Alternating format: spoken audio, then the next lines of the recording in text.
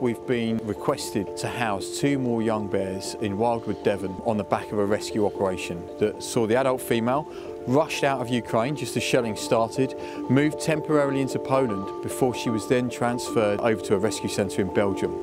What the team there weren't expecting was the fact that she was carrying two youngsters at the time.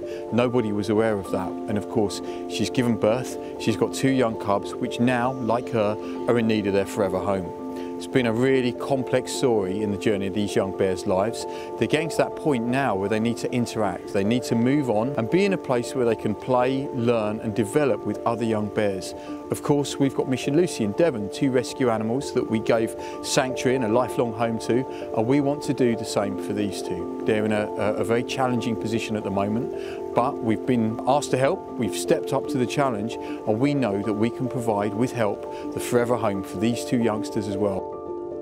The cubs are growing up really, really quickly. Um, they're getting quite big. So it's quite important at this point in time that we try and find them new homes. We can step in and we can really help out. Financially, rescuing bear cubs is a huge long-term commitment. We need help with the funds to transport the bears here and we're going to have to make some changes to the enclosure down in Devon and give them the best quality of life a, a bear can have. On the run up to Christmas, if you're thinking of anything you can do to help support us, to provide a present for anybody on their behalf, then please think about donating to help us to help bears. These two youngsters need their forever home. Any help that our supporters or anyone who's invested in bear welfare can provide us, we will be eternally grateful for.